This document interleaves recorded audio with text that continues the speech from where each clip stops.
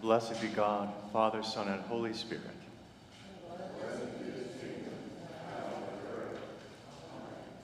Almighty God, unto whom all hearts are open, all desires known, and from whom no secrets are hid, cleanse the thoughts of our hearts by the inspiration of thy Holy Spirit, that we may perfectly love thee and worthily magnify thy holy name.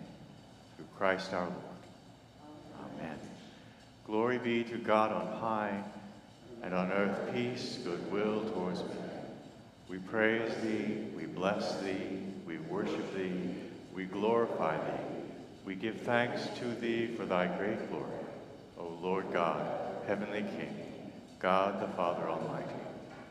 O Lord, the only begotten Son, Jesus Christ.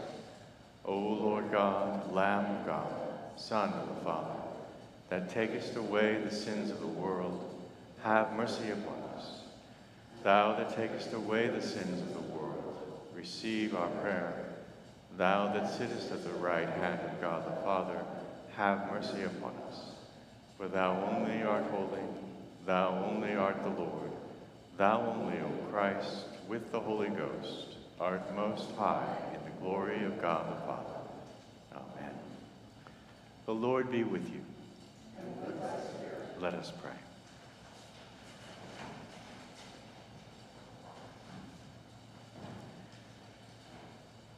Almighty God, fountain of all wisdom, you know that our necessities before we ask and our ignorance in asking. Have compassion on our weakness and mercifully give us those things which, for our unworthiness, we dare not, and for our blindness, we cannot ask. Through the worthiness of your Son, Jesus Christ, our Lord, who lives and reigns with you and the Holy Spirit, one God, now and forever. Amen.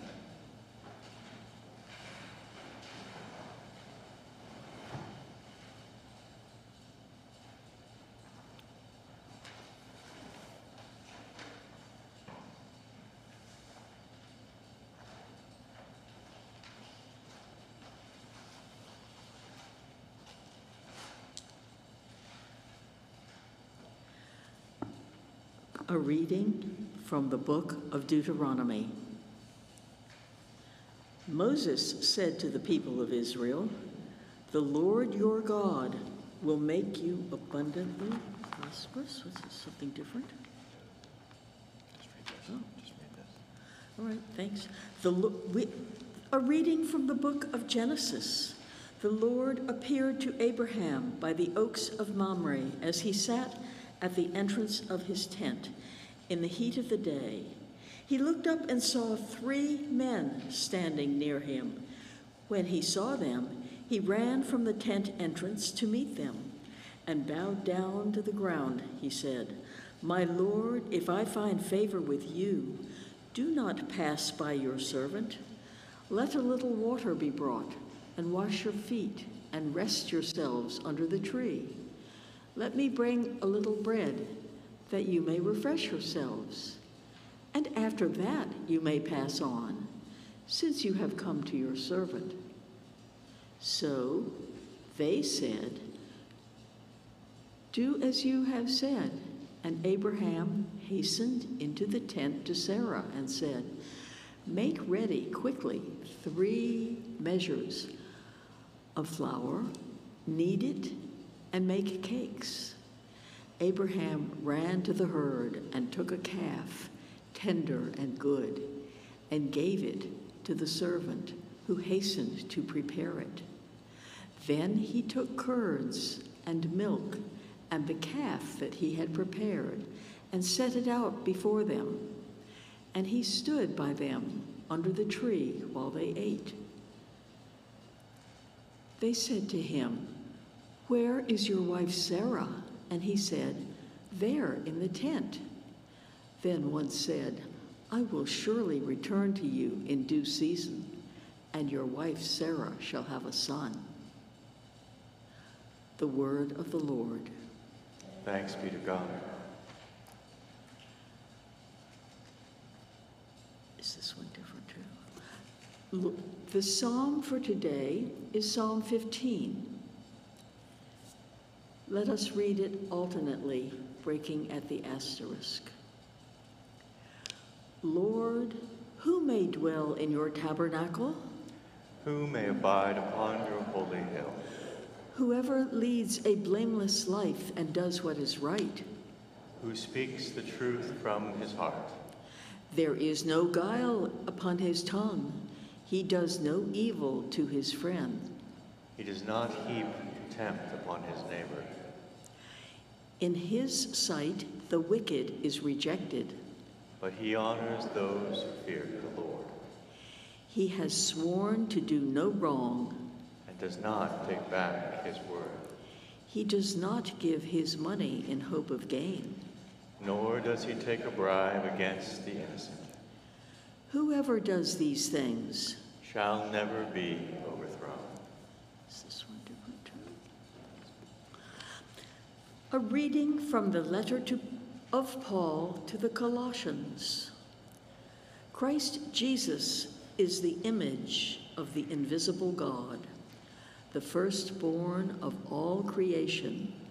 For in him all things in heaven and on earth were created, things visible and invisible, whether thrones or dominions or rulers or powers, all things have been created through him and for him.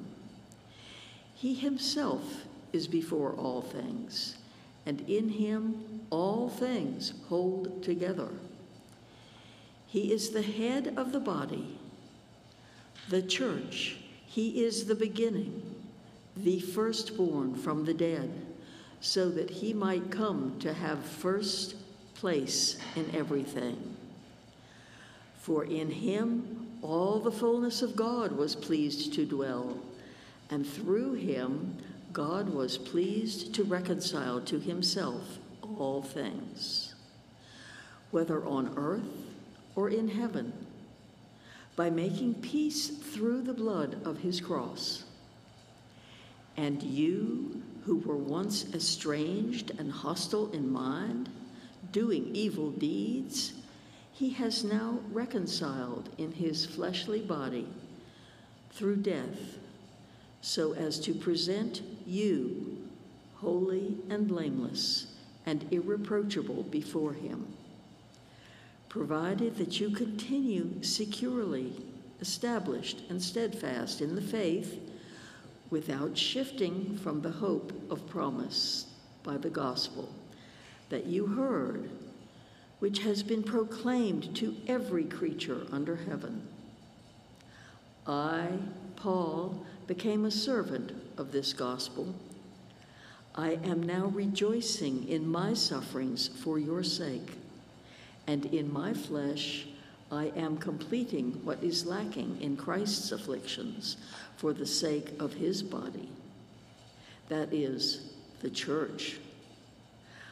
I became its servant according to God's commission that was given to me for you to make the Word of God fully known, the mystery that has been hidden throughout the ages and generations, but has now been revealed to his saints. To them God chose to make known how great among the Gentiles are the riches of the glory of this mystery, which is Christ in you, the hope of glory. It is he whom we proclaim, warning everyone and teaching everyone in all wisdom, so that we may present everyone mature in Christ. The word of the Lord. Thanks be to God.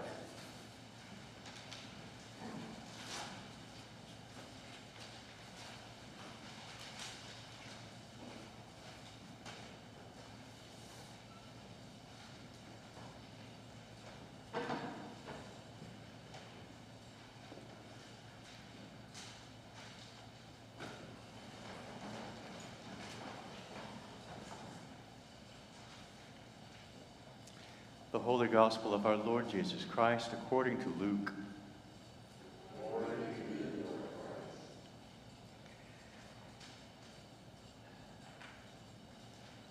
As Jesus and his disciples went on their way, Jesus entered a village where a woman named Martha welcomed him into her home. She had a sister named Mary who sat at the Lord's feet and listened to what he was saying. But Martha was distracted by her many tasks, so she came to him and asked, Lord, do you not care that my sister has left me to do all the work by myself? Tell her then to help me.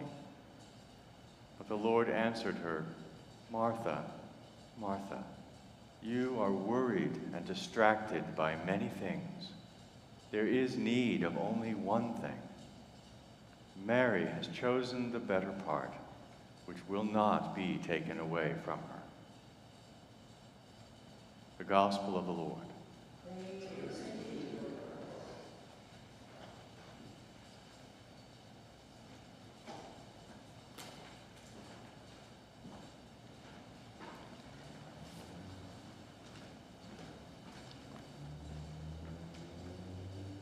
In the name of the one who gives us the better part.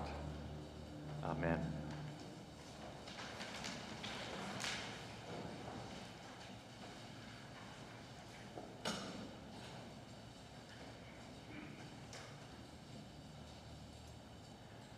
Well, I have another Holy Spirit story for you today. At least I hope it's a Holy Spirit story.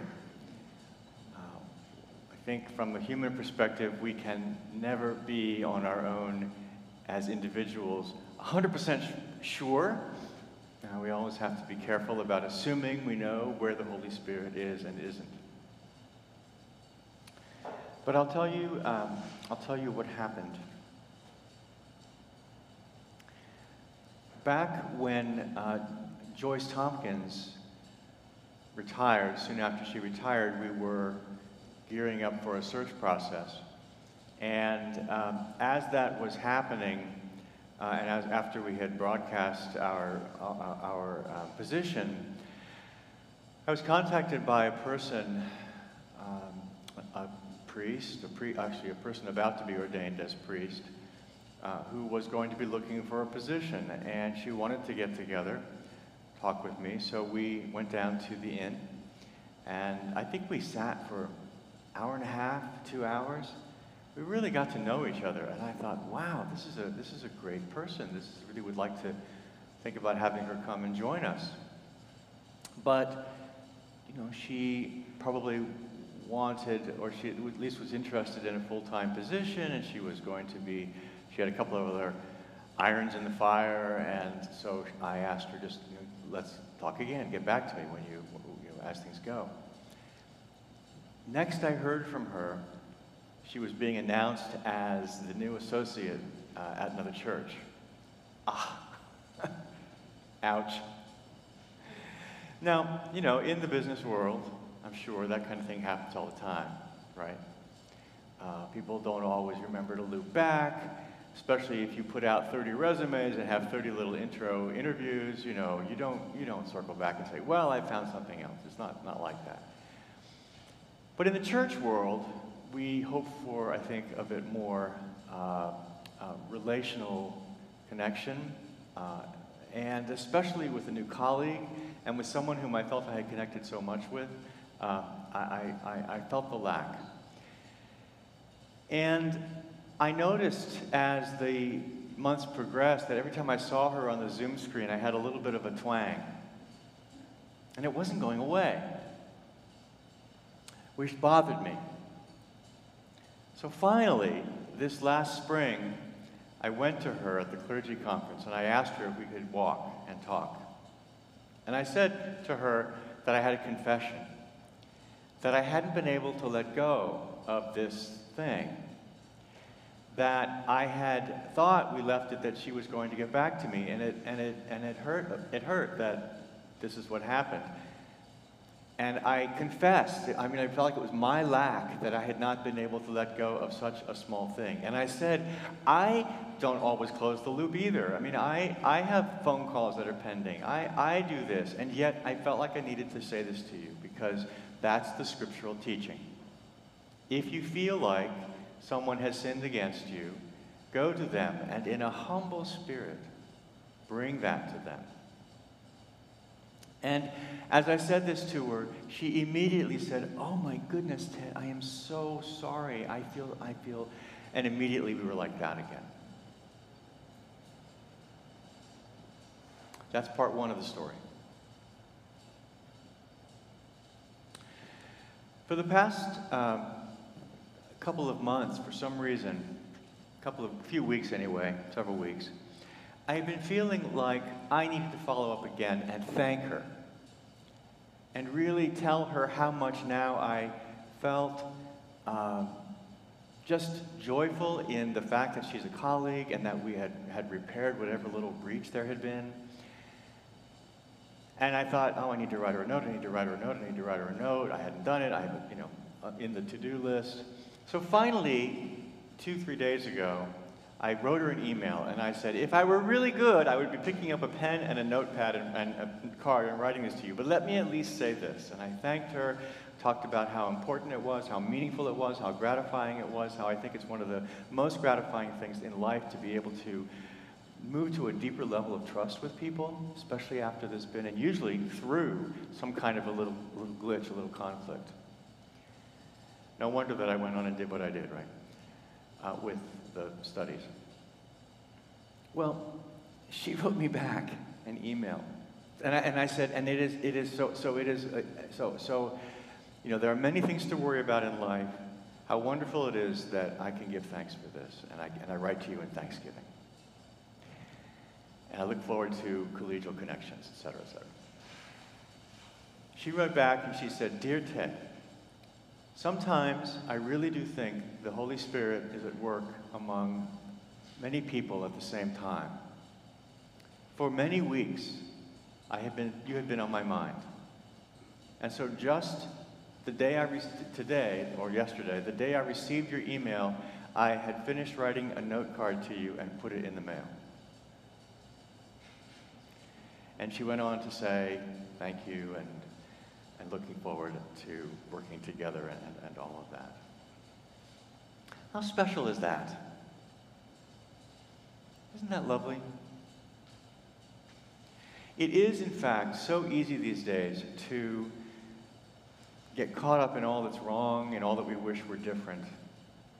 But when we pay attention to what the Spirit is giving us to do right in front of us, when we listen and act on those little nudges, these miraculous things can happen which revive the soul. We have today um, two stories, two powerful stories that speak about following those urges. The first is the story of Abram um, at the Oaks at Mamre, and the second is the story of Martha and Mary. I want to touch on both of those briefly. Just to make sure you know it, because it's an important story and because we chose it as our front cover picture. Uh, the story from Genesis, and thank you, Agnes, um, thank you, Ashley, for letting me direct you to that. The story in Genesis is that Abraham, Abraham listened to the Lord. Now that's interesting because when he goes out, what does he see? He sees three strangers dressed in white, and he is hospitable to them. And in that hospitality, he is actually connecting with God. And this begins the Abraham and Sarah story, right? I will return to you in due season, and your wife Sarah shall have a son.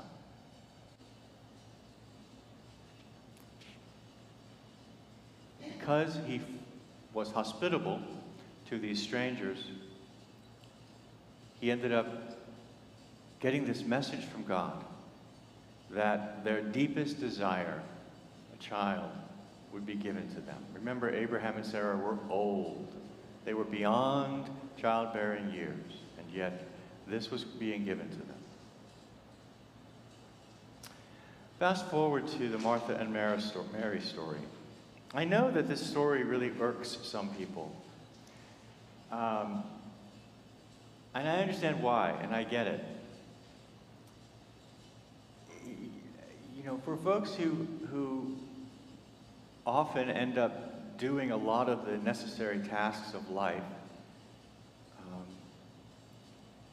the idea that someone gets to just sit and not have to do any of it and listen to the Lord is irksome. I'll just say the word again. It bothers you. I think the point is not that Jesus was saying the tasks were unimportant or that Martha shouldn't come or that the tasks shouldn't even be shared. Listen to what he says to Martha to begin with. He says, Martha, Martha, you are what? You know? Worried and distracted. Worried and distracted. Worried and distracted by many things. I think what this points us to, to understand is that if we do not have a sense of God, a sense of the Spirit, a sense of, a sense of God's love and presence and guidance permeating our lives, then our tasks become mere worries rather than tasks with purpose.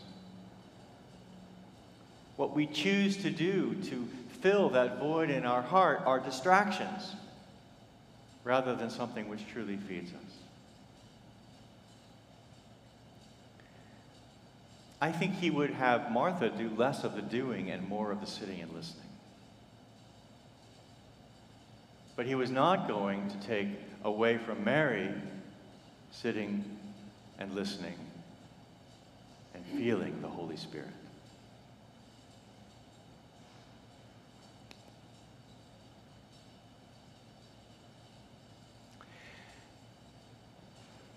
We are on Wednesday nights, uh, some of us, uh, sitting and uh, learning a bit about how to listen for the Spirit. Uh, those of us who are gathering for this little summer Bible study, it's, it's for people who are newer to reading the Bible and also newer to the church, um, are, are doing a bit of, of an introduction to the Scriptures and of an approach to reading the Scriptures, to sitting with the Scriptures. And not just reading them, but listening for the Holy Spirit. And here's how we're doing it we read the scripture once, straight through, and then sit for a few moments, maybe 30 seconds or so, in silence. And then we read it again with many people around the circle uh, reading a small part. And then the facilitator asks, What one word or short phrase resonates with you, speaks to you. And people answer. And the trick here is not to fill in around your answer with why or really anything else. Just name the words. Just read the phrase, read the word. And then we read again, one more time, and only after that third reading do we then open up the question what was it about that passage that meant something to you or you had a question about? Now, it's tempting at that point to jump into a commentary on the entire passage. But again, the question is really about exactly the phrase that resonated for them. And I find that as people do this approach to reading the scriptures, that, at least in my body, and I think in theirs as well, the words sink deeper in my mind. But it feels literally like it's sinking in. And that a different kind of listening is happening. Not the kind of listening which is the critical mind using all of that our rational minds have to bring to reading texts, which is important, but a different kind of reading. But kind of a saturation in the word, a sitting with. I've said to this group that I get from the Jewish tradition the idea that God hovers close to the text.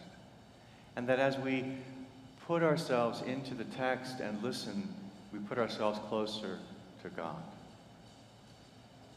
I don't believe that there is a one for one correspondence between every word on the page and God's voice.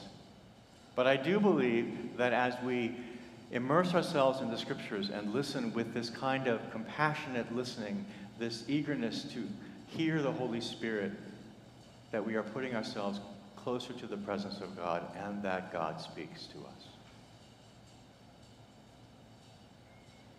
I say that to you because I want you to know that this is not merely some great mystery what it means to listen to the Holy Spirit. I mean, I, we can all get better at it. I can get better at it. I want to couple that by saying that there are people who are uh, more inclined that way, and there are people who are more inclined to be doers, and that's fine. That's one reason that we are best as a community. We need one another in that way as well. We need our Bible study leaders, and we need our people who like to work on the gardens. For many people, working on the gardens is the most prayerful thing they can do.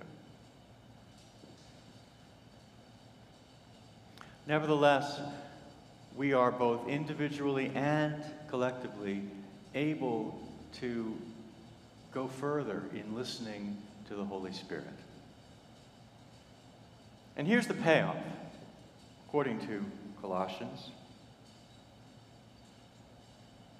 Not only, not only do we get to discover ourselves being led day by day, week by week, year by year by the Spirit, not only do we find ourselves able to enter into relationships and get through wrinkles and even find trust growing because we have humbly spoken to one another in the Spirit of the Lord.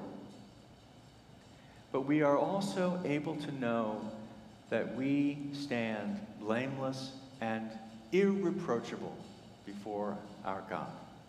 That's the promise in Colossians. That at the end of the day,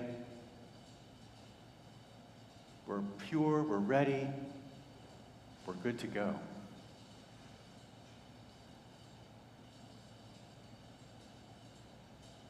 I think all of that is worth making the life of pursuing the Spirit, listening for the Spirit, trying to be guided by the Spirit. Not the only thing we do, but certainly the most important.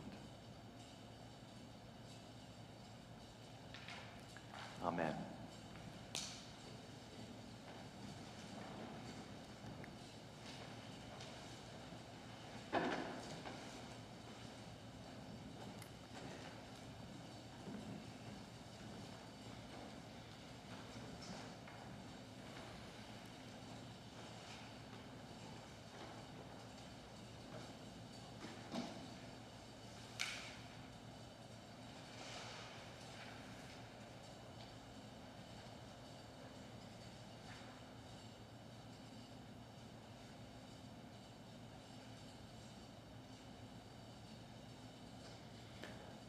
Let us stand together and affirm our faith in the words of the Nicene Creed.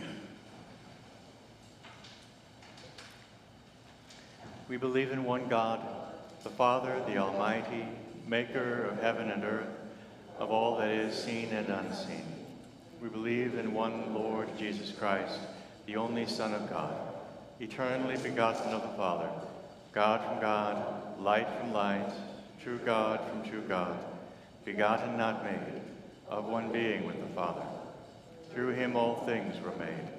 For us and for our salvation, he came down from heaven. By the power of the Holy Spirit, he became incarnate from the Virgin Mary and was made man. For our sake, he was crucified under Pontius Pilate. He suffered death and was buried. On the third day, he rose again in accordance with the Scriptures. He ascended into heaven and is seated at the right hand of the Father. He will come again in glory to judge the living and the dead, and his kingdom will have no end. We believe in the Holy Spirit, the Lord, the giver of life, who proceeds from the Father and the Son. With the Father and the Son, he is worshiped and glorified. He has spoken through the prophets. We believe in one holy Catholic and Apostolic Church. We acknowledge one baptism for the forgiveness of sins. We look for the resurrection of the dead and the life of the world to come. Amen.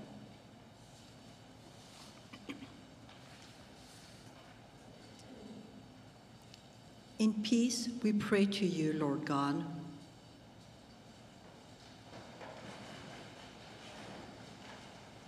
For all people in their daily life and work, For our families, friends, and neighbors, and for those who are alone. For this community, the nation, and the world, For all who work for justice, freedom, and peace. for the just and proper use of your creation, For the victims of hunger, fear, injustice, and oppression. for all who are in danger, sorrow, or any kind of trouble, For those who minister to the sick, the friendless, and the needy. for the peace and unity of the Church of God, For all who proclaim the gospel, and all who seek the truth. For Michael, our presiding bishop, and for all bishops and other ministers, For all who serve God in his church. For the special needs and concerns of this congregation. We pray today in our sister Diocese of Guatemala for Mission Oakland, in this Diocese of Pennsylvania for our Bishop Daniel, the Brandywine Deanery and their Dean Richard. In this parish for Jack Beck and Jake Millett, high school graduates being honored today. And for needs and concerns we name now aloud or in the quiet of our hearts.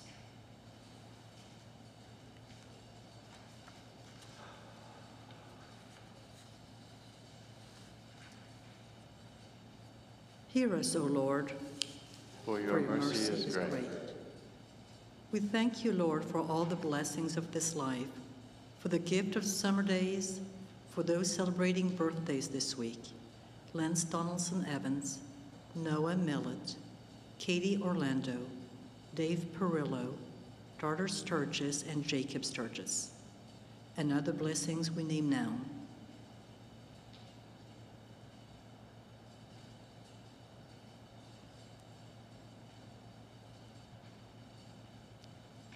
We will exalt you, O God our King, And praise Praise your name forever and ever.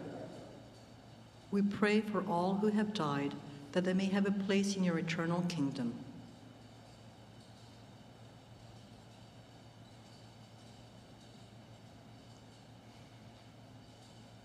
Lord, let your loving kindness be upon them. Who put their their trust trust in in you.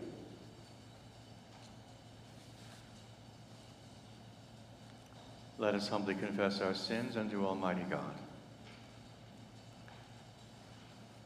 Most merciful God, we confess that we have sinned against Thee in thought, word, and deed, by what we have done and by what we have left undone. We have not loved Thee with our whole heart. We have not loved our neighbors as ourselves. We are truly sorry and we humbly repent. For the sake of Thy Son, Jesus Christ, have mercy on us and forgive us, that we may delight in Thy will and walk in Thy ways, to the glory of Thy name. Amen.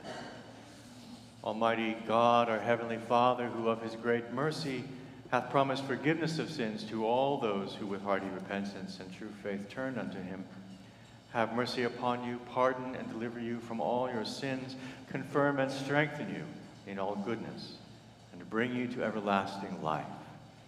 Through Jesus Christ our Lord.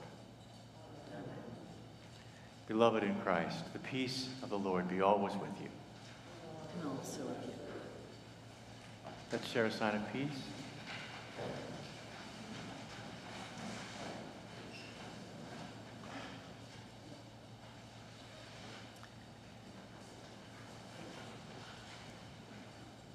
Please be comfortable.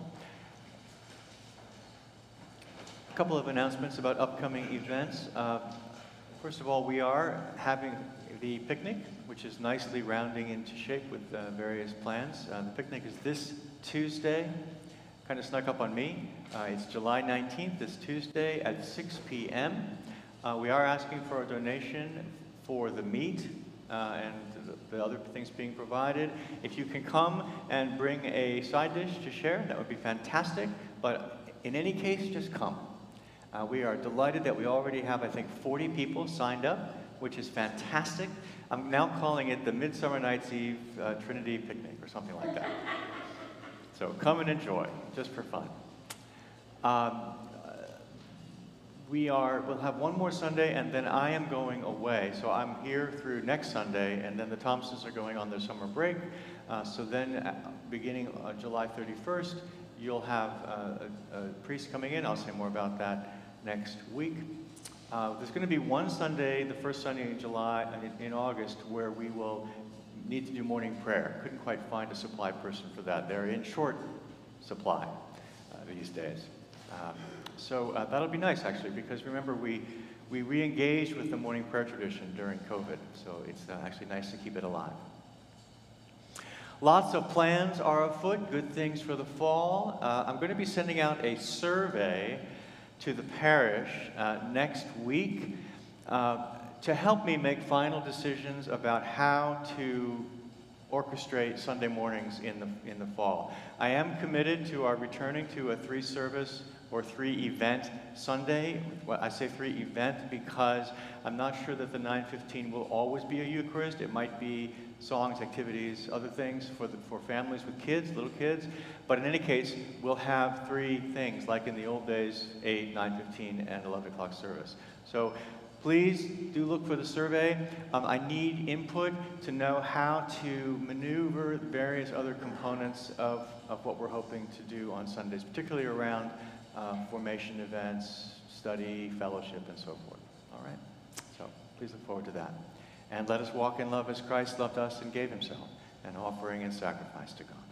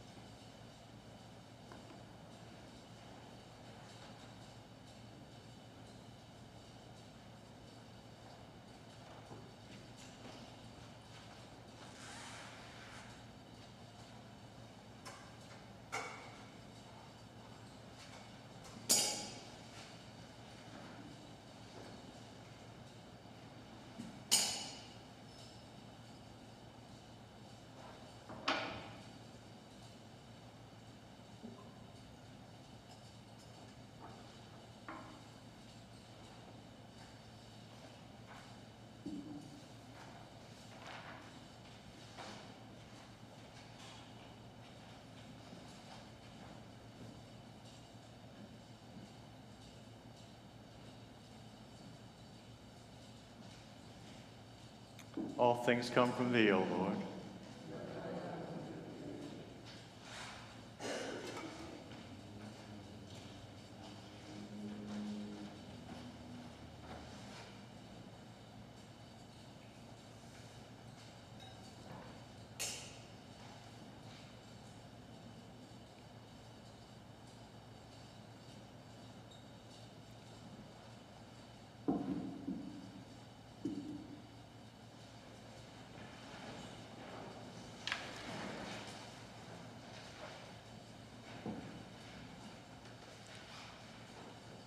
The Lord be with you.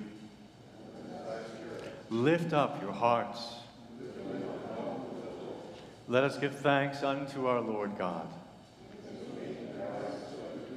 It is very meet, right, and our bounden duty that we should at all times and in all places give thanks unto thee, O Lord, Holy Father, Almighty everlasting God, who by water and the Holy Spirit hast made us a new people in Jesus Christ our Lord, to show forth thy glory in all the world. Therefore, with angels and archangels, and with all the company of heaven, we laud and magnify thy glorious name, evermore praising thee and saying, Holy, holy, holy, Lord God of hosts, Heaven and earth are full of thy glory. Glory be to thee, O Lord Most High. Blessed is he that cometh in the name of the Lord.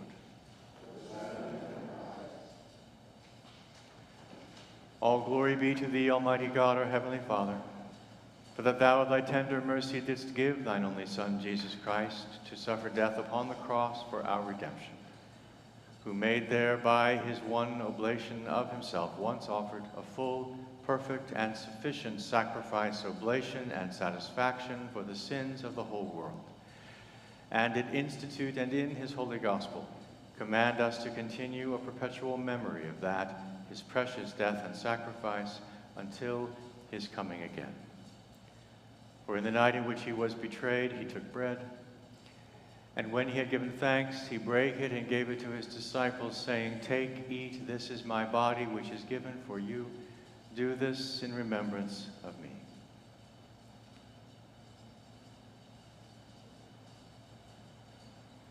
Likewise, after supper, he took the cup of wine.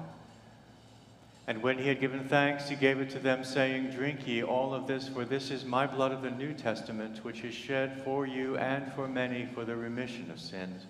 Do this as oft as ye shall drink it in remembrance of me.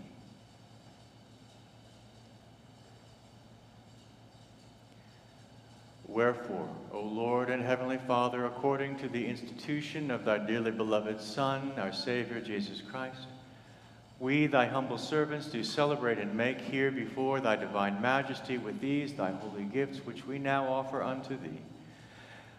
The memorial thy Son hath commanded us to make, having in remembrance his blessed passion and precious death, his mighty resurrection and glorious ascension, and rendering unto thee most hearty thanks for the innumerable benefits procured unto us by the same.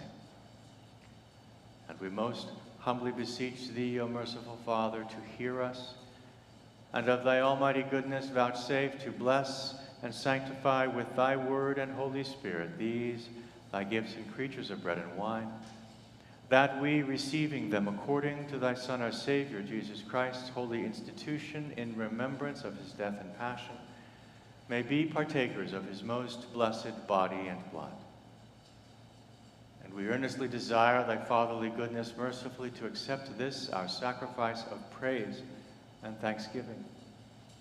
Most humbly beseeching thee to grant that by the merits and death of thy Son, Jesus Christ, and through faith in his blood, we and all thy whole church may obtain remission of our sins and all other benefits of his passion. And here we offer and present unto thee, O Lord, ourselves, our souls and bodies to be a reasonable, holy, and living sacrifice unto thee, humbly beseeching thee that we and all others who shall be partakers of this holy communion may worthily receive the most precious body and blood of thy Son, Jesus Christ, be filled with thy grace and heavenly benediction, and made one body with him, that he may dwell in us and we in him. And although we are unworthy through our manifold sins to offer unto thee any sacrifice, yet we beseech thee to accept this our bounden duty and service, not weighing our merits, but pardoning our offenses through Jesus Christ our Lord, by whom and with whom, in the unity of the Holy Ghost, all honor and glory be unto thee, O Father Almighty, world without end.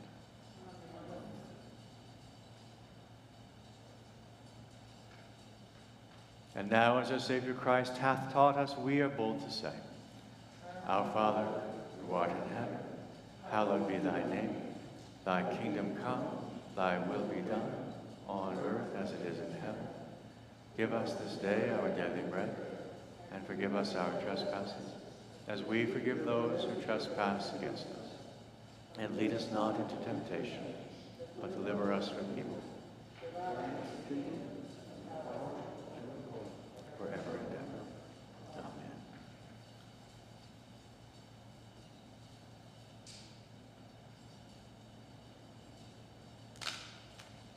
Alleluia, Christ, our Passover, is sacrificed for us.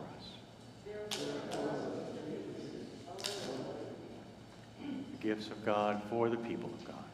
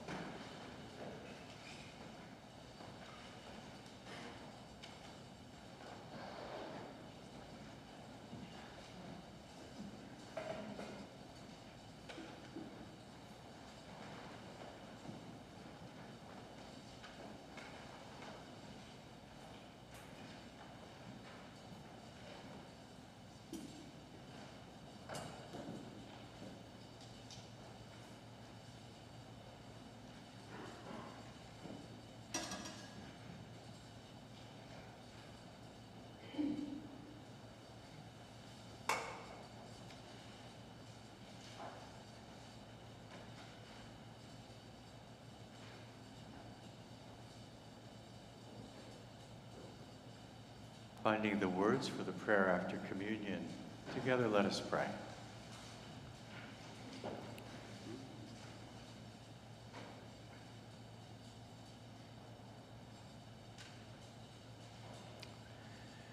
Almighty and ever living God, we most heartily thank Thee for that Thou dost feed us in these holy mysteries with the spiritual food of the most precious body and blood of Thy Son, our Savior, Jesus Christ, and dost assure us thereby of Thy favor and goodness towards us, and that we are very members and corporate in the mystical body of Thy Son, the blessed company of all faithful people, and are also heirs through hope of thy everlasting kingdom. And we humbly beseech thee, O Heavenly Father, so to assist us with thy grace, that we may continue in that holy fellowship and do all such good works as thou hast prepared for us to walk in. Through Jesus Christ our Lord, to whom with thee and the Holy Ghost be all honor and glory, world without end. Amen. Peace of God, which passeth all understanding, keep your hearts and minds in the knowledge and love of God and of his Son, Jesus Christ our Lord. And the blessing of God Almighty, the Father, the Son, and the Holy Spirit be upon you and remain with you always. Let us go forth into the world rejoicing in the power of the Spirit.